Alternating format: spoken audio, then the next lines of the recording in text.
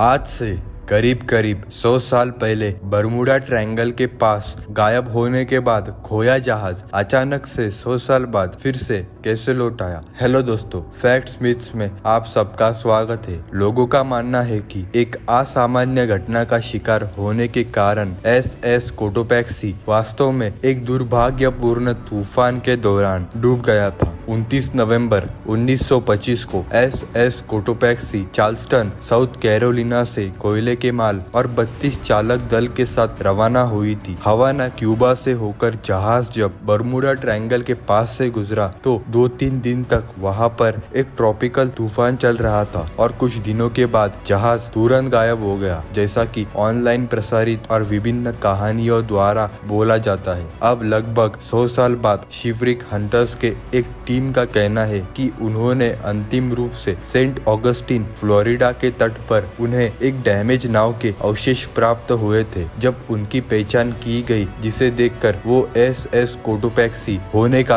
अंदाज़ा लगाया जा रहा था। Michael Barnett, national oceanic and atmosphere administration, N O A के एक मरीन बायोलॉजिस्ट है जो फॉसिल्स को खोजने में मदद करते थे। हफ्स्टन पोस्ट के ईडी मज्जा को ईमेल के माध्यम से बताते हैं, यह अविश्वसनीय रूप से रोमांचित था। मैं बहुत से शिफ्रिक डाइव्स किए, लेकिन ये वास्तव में बहुत इंटरेस्टिंग था। नवंबर 16 1977 को रिलीज़ हुए एक science fiction movie close encounter of third kind में दिखाया गया था कि जहाज़ के गायब होने के पीछे एलियंस का हाथ था, पर कुछ सी डाइवर्स ने खोज करते हुए उन सारे काल्पनिक थेरीज और षडयंत्र से पर्दा हटा दिया। जैसा कि क्लोज एनकाउंटर में दिखाया गया था कि जहाज़ गोबी डेजर्ट में मिला था, पर वास्तव में वो फ्लोरिडा में स्थित सेंट ऑगस्टिन से 35 मील के दूरी पर प्राप्त हुआ था। बार्नेट ने पहली बार 15 साल पहले बर्बाद हुए जहाज़ को देखा था, लेकिन वो सभी नहीं जानते थे, जो जहाज़ उन्हें प्राप्त हुआ है, वास्तव में यही कोटोपैक्सी है। पर वे साबित करना उनके सामने असली चुनौती थी। वो जानते थे कि सेंट ऑगस्टिन से एक जहाज़ नीचे चला गया है, पर वो बहुत समय तक मिट्टी में दबे रहने के कारण वो ऐसे आदमी के तलाश में थे, जो कि उसके मलबे की पहचान करने में प्रशिक्षित था। बार्नेट ने रविवार को एनपीआर के वीकेंड एडिशन में बताया। उन्हें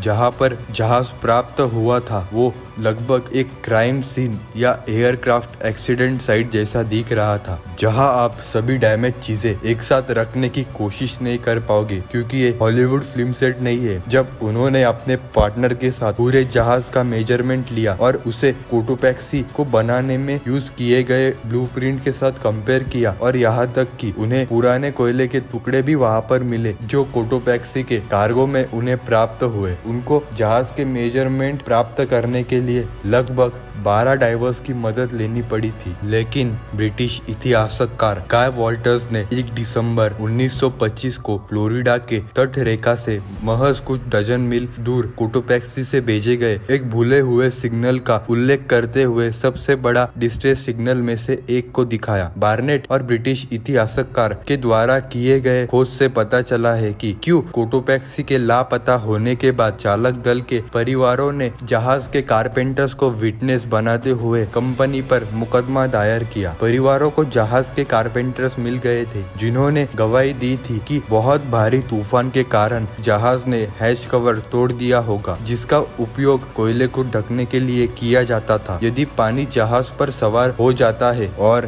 कार्गो हैच कवर टूट जाता है तो टूटे हुए कवर का मतलब है कि जहाज़ बाढ़ के कारण डूब सकता है। बार्नेट ने कहा, हम गवाही से जानते हैं कि हैच कवर मरामत की उदास स्थिति में था। वे बोलते हैं, ये सभी कार्गो हैच कवर्स मरामत के प्रक्रिया में थे। फिर भी क्यूबा से रवाना होने से पहले कारपेंटर्स को ये सभी ठीक करने के लिए कहा गया था। सेंट ऑगस्टिन संग्रहालय के डायरेक्टर चक मेट कहते हैं, जब मैं बार्नेट द्वारा किए गए शोध को देखा, मैं बहुत प्रभावित हुआ। उनके पास कोटोपैक्सी की योजना थी और उनके पास उस घटना में मारे गए चालक दल के रिश्तेदार के न्यायालय रिकॉर्ड थे, जिन्होंने कंपनी के मालक पर मुकदमा दायर किया था। जहाज़ के डूबने में निश्चित रूप से एक भूमिका निभाने के लिए पास का बरमुडा ट्रायंगल हॉटस्पॉट जगह है। जैसा कि इन वर्षों में कोटोपैक्सी बरमुडा ट्रायंगल में गायब हुए जहाज़ में से एक रहा है, जो कि अलौकिक तरीकों पर लौट आया है। इन लंबी कहानियों से अधिकांश को हटा दिया जाता है और यह क्षेत्र वास्तव में एक रहस्यमय ढंग से गायब होने के लिए हॉटस्पॉट माना जाता है, क्योंकि हमारे ग्रह में महासागर में पानी का लगभग 70 प्रतिशत हिस्सा है। इसीलिए